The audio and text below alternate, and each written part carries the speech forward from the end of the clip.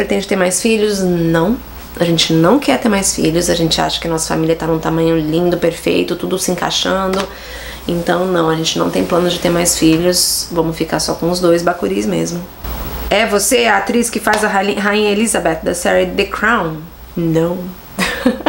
gente, muita gente me falou isso, mas eu olhei as fotos, eu não, não vi a série ainda. Mas pelas fotos eu não achei muito parecida, não. Mas tanta gente fala que de repente deve ser. Será que é porque ela tem o cabelo da mesma cor, o olho azul, a pele branca? Sei lá, mas. Não, não sou. Como você lida com as críticas em relação à forma de criar uh, os meninos? Para falar bem a verdade, as críticas sobre a minha forma de criar os meninos não me afetam muito. As críticas não me afetam muito, não. Porque eu sei que eu sou uma boa mãe. Eu sei que os meninos estão crescendo eles são meninos doces, eles são meninos educados, eles são crianças que se preocupam com o próximo. Então eu vejo o resultado da minha criação. Se alguém vai criticar o que eu faço, não me afeta tanto, porque eu sei que que eu tô fazendo um bom trabalho. Então a minha maternidade, ela não, não é afetada por críticas externas. Eu acho que por isso também que, que eu me sinto ok com a ideia de, de, de ter um, um, Insta materno, um Insta que, dá, que fala sobre maternidade. E, e eu tô ok de me expor, de me abrir dessa forma. Porque eu sei que o que eu tô fazendo é a minha escolha, a forma como eu escolhi educar meus filhos. Nada que as pessoas falem, ou, fa ou se elas falam eu acho que isso é errado, ok. Se você tiver filho, você educa da sua forma. Se você não tiver, quando você tiver, você educa da sua forma porque essa é a minha escolha. É isso que eu, que eu acho que, que vai funcionar para o futuro dos meus filhos. Eu acho que cada um educa da forma que quer. Existem várias vertentes ou várias formas de educar. E no fundo a gente está tentando fazer o melhor, criar boas pessoas para o mundo. Sabe aquela coisa que eu falo de vez em quando que eu não me preocupo com o mundo que eu vou deixar para os meus filhos, mas eu me preocupo com os filhos que eu vou deixar para o mundo? É mais ou menos isso. Eu tô me preocupando em criar bons indivíduos que vão fazer diferença no mundo em algum, em algum futuro. Eu fiz tratamento para engravidar? Fiz. Eu, a gente ficou tentando engravidar por três anos, a gente não engravidava, a gente fez trocentos exames, todos os exames disponíveis que tinham na época.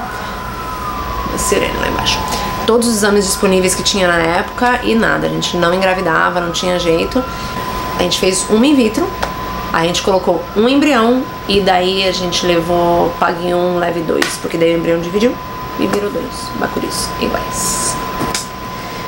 Os bacuris têm quantos anos? Já desfraldaram do dia e da noite? Como foi o processo? Os meninos têm quatro anos, eles desfraldaram da, do dia com dois anos e meio? Dois anos e quatro, dois anos e meio, por aí. Logo que eles começaram a escola, eles desfraldaram. Então foi entre dois anos e quatro, dois anos e seis. E eles estão com quatro e quatro agora. E não, eles não desfraldaram à noite porque eu tenho preguiça de desfraldar os meninos à noite. E mas os meninos ainda não desfraldaram à noite porque eles fazem muito xixi à noite, muito. Mas é, né, gente? Foi o que eu falo. Cada família, suas regras. A Gabi Duarte fez uma pergunta interessante, que ela perguntou qual é a minha profissão, que eu sou relações, formada em relações públicas, mas eu sou tradutora desde 2008. E se eu tenho expectativa de voltar a trabalhar em breve ou se eu tô confortável trabalhando em casa, cuidando dos meninos e sendo dedicada a eles. É, durante muitos anos eu achava que eu jamais ia conseguir ficar sem trabalhar. Quando os meninos nasceram, eu não tinha a mínima condição de pensar em outra coisa, que eu tinha a vantagem de não, de não precisar trabalhar, então eu me dediquei muito a eles. Agora que eles estão maiorzinhos, eu tô, eu tô voltando, eu peguei, eu, depois que eu mudei para Miami, eu comecei a agitar e pegar alguns, algumas traduções, voltar a fazer traduções, que é que é o que eu gosto de fazer e eu posso fazer de casa, eu posso fazer no meu tempo, eu posso fazer de noite, de manhã, a hora que eu conseguir encaixar. Então eu tô voltando a trabalhar agora.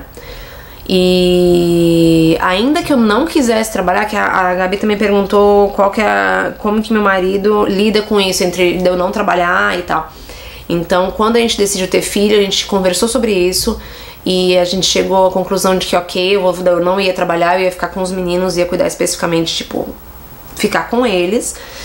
E a partir do momento que eu achasse que era a hora, e se eu achasse que era a hora, eu ia voltar a trabalhar e foi um acordo nosso. A gente é um time, a gente fechou na ideia e, e a gente nunca teve atrito por causa disso. E agora eu acho que tá na hora de eu voltar pra, a produzir pra gente, pra minha cabeça, pra, pra me sentir útil de novo. Então eu tô voltando aos poucos a, com as traduções. Eu só adicionando coisa, né? Fazendo. Porque eu tenho agora. Eu tenho, eu tenho um canal do YouTube que eu tento manter eles de alguma forma vivo. Tenho Insta e tenho. E agora tô voltando aos poucos a, a fazer as traduções. Juzinha de Paula perguntou: quem nasceu primeiro, Nicolas ou Lucas? E quem decidiu quem seria quem? A gente tinha o nome do Lucas primeiro, quando a gente começou a namorar, eu e meu marido a gente já sabia que o, se a gente tivesse um filho homem, ele ia chamar Lucas. Então, quando a gente descobriu que a gente estava grávida de dois, a gente decidiu que o primeiro que saísse da barriga era o Lucas. Então, o Lucas nasceu primeiro. E daí a gente passou alguns meses discutindo nomes até chegar no Nicolas. Inclusive, o Nicolas foi uma, uma sugestão da Dani, da minha irmã, que ela falou: Ah, por que você não pensa em Nicolas que funciona em inglês, português? A gente morava em Nova York, então um nome que funcionasse nas duas línguas. Quem nascesse primeiro seria o Lucas, quem nascesse depois é o, é o Nicolas. E foi assim que a gente decidiu quem que quem ia ser quem. Perguntaram também sobre o meu cabelo. Bom, seguinte, uh, eu sempre quis ser ruiva, eu sempre falei que a, o meu DNA estava errado nessa vida, que é pra eu ter nascido ruiva, mas eu não nasci. Meu cabelo é castanho, escuro, não é nem castanho claro, médio, é castanho, tipo, castanho escuro, não preto. Castanho, médio, quase escuro. Enfim. E eu sempre tentei achar o meu tom de ruivo certo, tentei várias caixinhas de farmácia de várias marcas, nunca chegava, era aquele tom vermelho que eu não gosto pra mim. E daí, finalmente, quando eu mudei pro Brasil em 2014, eu achei um cabeleireiro que conseguiu encontrar o tom. Daí eu fiquei ruiva. E desde então eu tive umas escapadadas, tipo, o cabeleireiro resolveu mudar de ideia, ficou ruim, daí depois eu troquei de cabeleireiro, daí a gente se achou de novo. Agora aqui em Miami eu achei uma cabeleireira, ó, que é muito boa e ela tá mantendo no tom que eu gosto muito. Para quem perguntou, eu vou, eu vou até escrever aqui, aqui para vocês. Quem perguntou o tom do meu cabelo, a base é 7, a cor é 7.43 ou é 34? 7.43 e OX20. Acho que é isso, né, gente? Ah, me perguntaram também ainda sobre o cabelo. Perguntaram se, se eu passo, se eu cuido dele em casa, se eu passo leave-in. Gente, eu passo trocentas coisas no cabelo. Meu cabelo é super seco, então ele aguenta bem, sabe, aquele monte de produto e ele não fica pesado, oleoso, nem nada disso.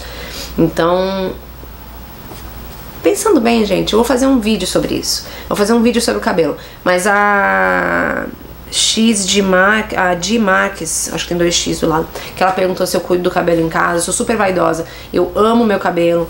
Eu adoro e eu adoro que agora ele tá ruivo, então ele é da cor que eu sempre quis. Que eu devia ter nascido com essa cor. E sim, eu cuido dele. Eu passo óleo de coco em casa, eu passo leave-in antes, depois que eu saio do banho, eu passo um pré-shampoo antes de lavar mas ele tá meio estragadão na, na ponta, então tem que começar a cuidar dele de novo, que ele sempre estraga nas, nas férias. Mas eu cuido dele em casa, eu não faço tratação de, de, de cabeleireiro, eu não faço nada, eu vou no cabeleireiro para pintar. Vou, pinto e vou embora. E todo o resto eu faço em casa. Então eu faço produto para hidratar em casa, reconstrução capilar em casa, faço, compro os produtos e faço em casa que é bem mais barato. Mas é isso, gente. Eu acho que eu já falei bastante, né? Falei bastante. Respondi algumas perguntas que estavam aqui no meio, também no meio das respostas e tal. Eu espero que vocês tenham gostado do vídeo. Se vocês gostaram, deem um joinha, deixem comentários aqui embaixo e a gente se vê no próximo vídeo. e até a próxima. Tchau.